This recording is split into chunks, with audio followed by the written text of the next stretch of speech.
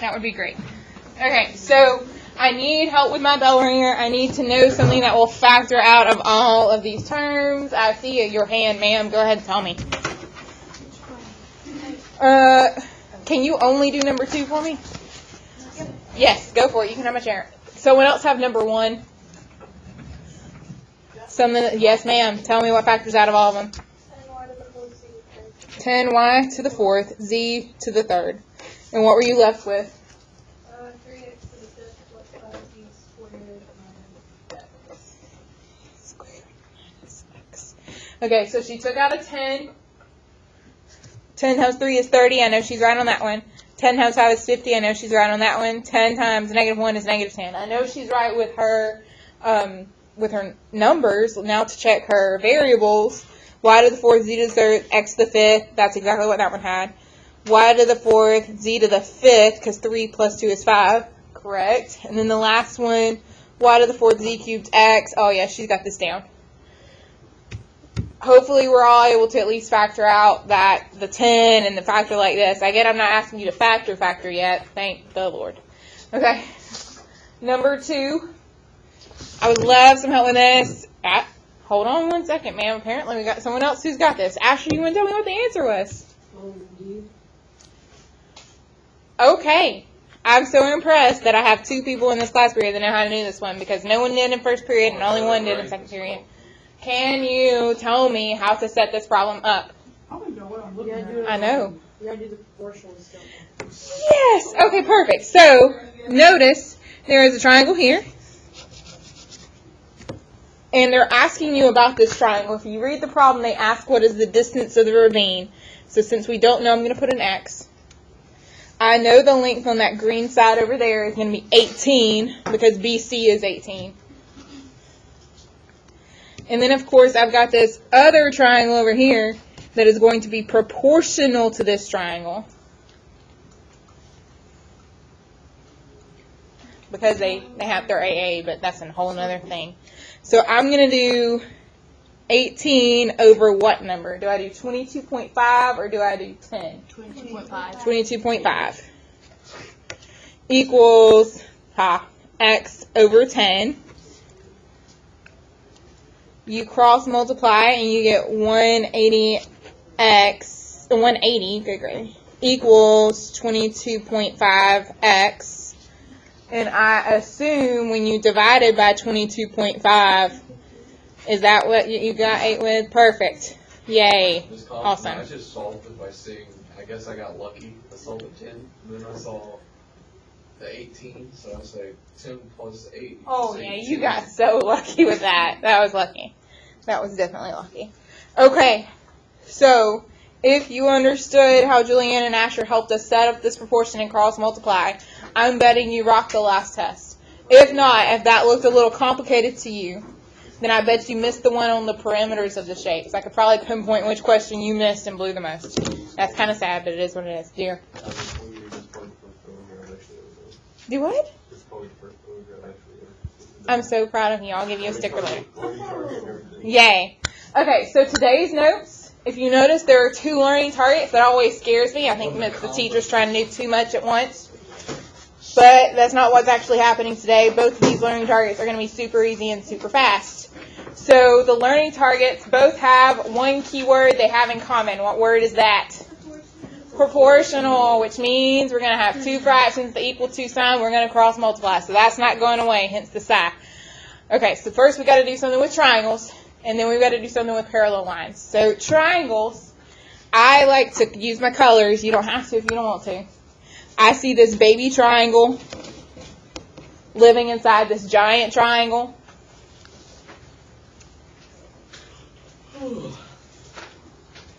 So they say this piece, uh, which is Rx, over this piece, which is XT, is proportional to or equal to SY over YT. So they're using a tiny piece over the baby triangle, tiny piece over the baby triangle, cross multiply and solve. It's a lot, that actually sounded way more complicated than it is. Let's go ahead and look at the first example. So I'm going to do 3 over 8 equals x over 12. So I did 3 over 8 equals x over 12. Wait, okay, so you pretend it's a triangle, like a little baby triangle? Yes, I do. I pretend like there's a little baby triangle, and I tend to put the baby triangle in the numerator, hence why 3 and x are both in the numerator. And I tend to put the big boy triangle, well, the piece remaining, Okay, in the so denominator. On the one side, Yes, if you notice, that's one of the fractions, 3 and 8. And that's the other fraction, x over 12. You can cover up the sides and see it too. She's right. Now, if you did your fractions completely reversed, that's fine. As long as you're keeping up with things like 3 goes with x. So either they're both in the numerator or they're both in the denominator. Okay, you cross multiply, you get 36 equals 8x. I need a decimal. Okay, so I'm going to put 4.5 equals x. If you wanted to leave it as, you could have reduced that fraction to 9 over 2. But we're really, you know, last section I told you I really was wanting fractions. This section, I'm over it. I'm totally cool with decimals. Just decimal away. uh-huh, Decimal away. okay, so number two, it'd be like six over eighteen, hmm But we're going to save number 2 for a second. Why am I going to save number 2? because it's got two of the X's. It's got two pieces with X's, and the X's have a little more stuff with them. So I'm going to save it for a second, and instead I'm going to say, let's see, I want Caitlin and Jesus' group to try number one. I want uh, Taylor and Danier's group to try number two, and I want uh, Juliana and Savannah's group to try number four. Number four. So everyone has a problem. As soon as you have your and the answer and you think you're right, shout it out for me, and we'll we'll check. And that way, every group only has to do one problem like this. Number two is you, ma'am. Try number two. Shout it out, Will. X equals seven. Great. X equals ten, number two. Two is ten. Look, I see, look. No, look, look, look, look, look, look, no, no, no, look, look. You see oh, this big line right there? Yeah, go ahead. Another triangle right here. It's Where number eighteen. Is that one right there? Yeah. There you put X over ten. That's number two, ten. I got X over. Yes. Oh, wow. Is number one right? I Mhm. just let you know that I got that. I thought X was. That is right. And no one had three. No, ma'am. No one had three, five, or six. Uh, hold on and off. There you go. You're good. Okay. So everyone had a problem they had to work. Make sure you at least copied yours down. I would write all three, make sure you at least copied yours down. So let's see. Natalie had five over. No. Taylor had. No. Will. Good gravy. Somebody had 5 over 5 equals 7 over x. They cross multiplied, they got x equals 7. Natalie had 20 over x equals 18 over 9. She cross multiplied, she solved, she got x equals 10. And then, I don't, Dylan for sure had 24 over x equals 30 over 10. He cross multiplied, he got x equals 8. Now, I did all this really fast. And I did all this to tell you that well, I love you dearly, and I love to see your work. I do. I love to look at your work and tell you where you went wrong. And if you think you're going to make a mistake, this is what you need to do. But let's be honest, on this type of a problem, especially those of us who are good at fractions, you probably could have guessed that since 5 over 5 reduces to 1, this one needed to be 7 over 7. So did you actually have to cross multiply and solve it all? No. Or on this one, 18 over 9 reduces to 2. So 20 over what reduces to 2? It would have to be 10. So on most of these, by my knowledge of fractions and multiples, I can guess the answer. So 30 over 10, that reduces to 3. So it would have to be 24 over 8 because that reduces to 3. But if all of that sounded like gibberish to you, then you need to fraction, fraction, cross multiply, solve. Are there any questions about those three? Okay. Then we'll go back and be brave and try example two. Natalie was right. I am going to do, well, How did you want to do it, Natalie? Did you want to do 6 over 18 or 18 over 6? No, example I did 2. it, I did six over eighteen. That's fine. I did, yeah, I did, I small. Okay, so she did 6 over 18. So do I put x plus 22 in the numerator or x plus 2 in the numerator? Um, I think it's close to. I do because that goes with the 6. Perfect. Thank you, Danielle. Okay. Now, we've, we've upped the challenge a little bit. The proportion wasn't any harder to set up, but we've got to cross multiply, and we'll have 6 times x plus 22 equals 18 times x plus 2. Here is where I've noticed some people have an issue on their test, and it's something I thought we had talked about numerous times. When you distribute that 6, your answer should not be 6x plus 22. Your answer should be 6x plus Well, what about the, because they multiply? Yes, so is it is it I got one thirty. It is 132. Thank you, Danielle. I was having to use my brain for a sec. Yes. But yes, you have to multiply to both of them.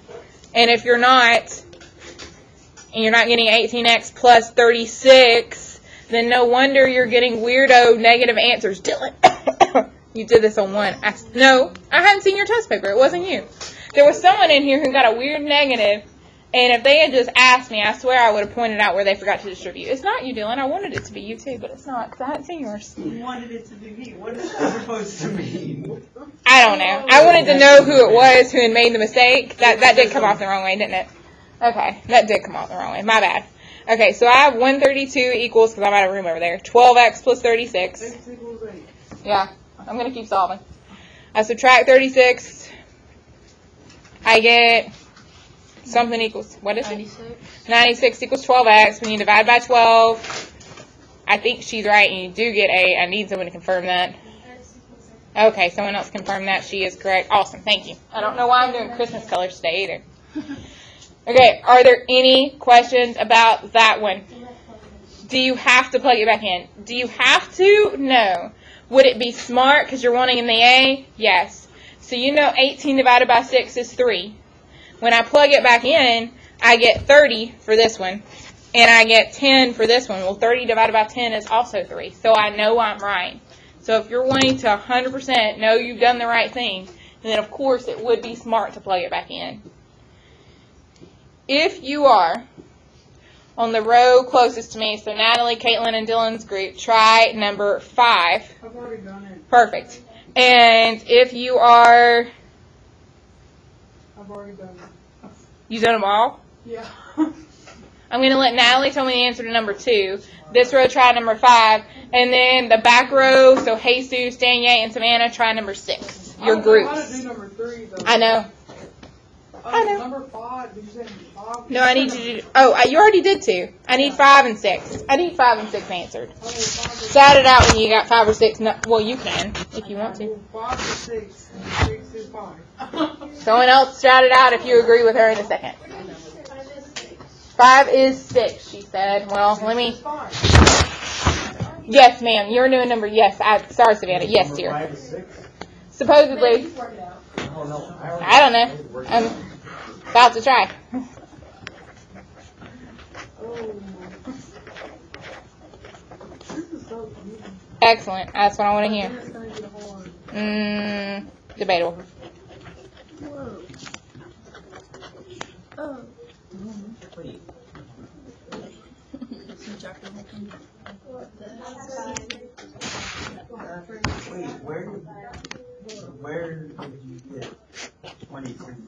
Okay, so I heard the wrong answer on number five, and here's why. So yes, it's x over x plus 12, but it is not 11 over 33, which is what I assume you did if you shouted out the wrong answer. It is not 11 over 33. Since we did x over x plus 12, we actually need 11 over 22. So whoever had number 5, there's a little bit of a harder problem because you had to do 33 minus 11 is 22 first before you could even set up your proportion and cross multiply. Cassie, on your way back, turn off the heat before I die. Thank you. Why is he on? I don't know.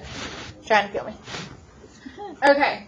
Miss Compton, who is ready? And then the other one, what did, who told me that answer? Five. And what did you get, Savannah? Did you get five too? Okay, so x over x plus 10 equals 10 over 30. So 30x equals 10 times, and I can't put in parentheses, x plus 10. Oh. So I have 30x equals 10x plus 10. So 20x, oh, it's 100. Miss Compton can't distribute. So x equals 5, and that's awfully written. Let me zoom in on that one.